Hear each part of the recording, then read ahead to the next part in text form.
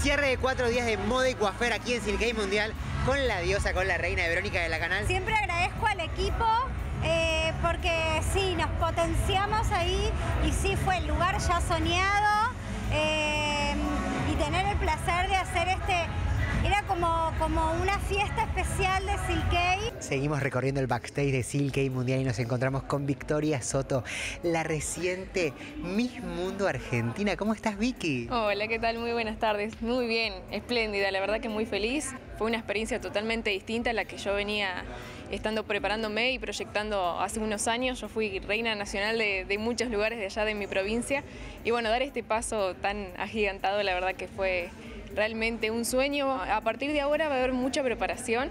Tenemos eh, preparación en oratoria, en el idioma inglés, en pasarela. La verdad que se vienen un montón de proyectos, un montón de sesiones fotográficas también porque hay que cambiar mucha información para allá. Yo voy a ir en el mes de noviembre para China a representar a toda la Argentina y la final es el 8 de diciembre en Sanya, China. Lo agarramos en pleno backstage al señor Iván Orduña, amigo de la casa Silkei hace muchísimos años. Sí. ¿Cuántos años que desfilas para Silkei? De los 19 años que desfilo Wow. para Silkei. Tengo 32, así que imagínate, hacer las cuentas.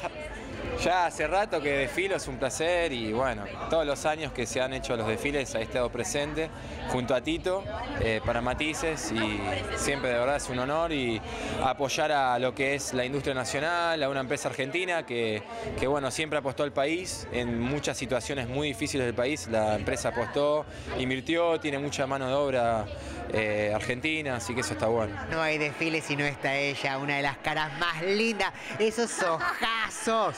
¿Cómo estás, diosa? Bien, bien. Fundamental la buena onda, ante todo. Vivimos de esto, es lo que hago cada día, así que imagínate cómo no hacerlo con alegría, con buena onda, divirtiéndome. Por suerte vengo con confianza, estos, maquilladores increíbles, estos peinadores fabulosos, así que me quedo tranquila, me dejo en sus manos. Y bueno, y después a disfrutar de la pasarela que nos encanta. Te juro que me queda corto el tiempo de estar ahí arriba y de disfrutar de la gente, de lo que pasa cuando estás en la pasarela. Ayer onda disco, o sea, esas bolas de boliche, las luces en la pasarela súper imponente, el maquillaje súper power, con ojos fuertes. Entonces vos pasás con actitud, ¿no? Y la música que acompaña.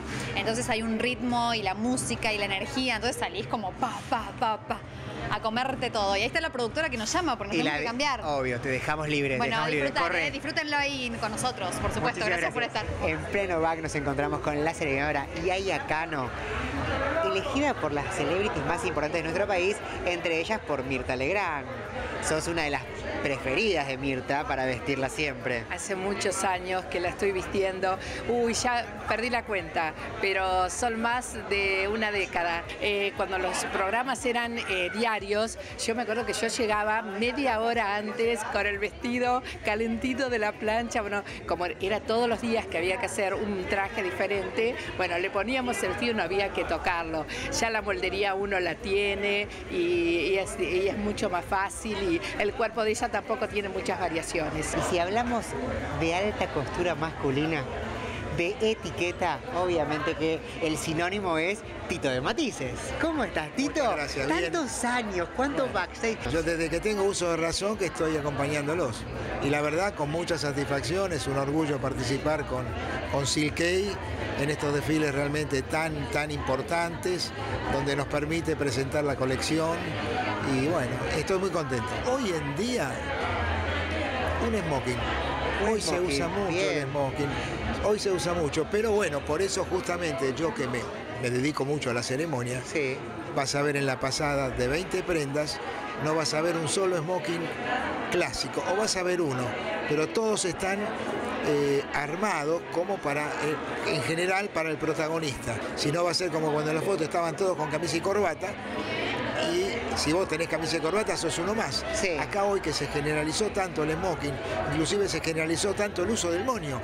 Hoy el moño lo ves de una manera formal y de una manera informal. Totalmente. Entonces vos vas a ver en la pasada eh, cómo justamente caracterizo, cómo lo diferencio al protagonista.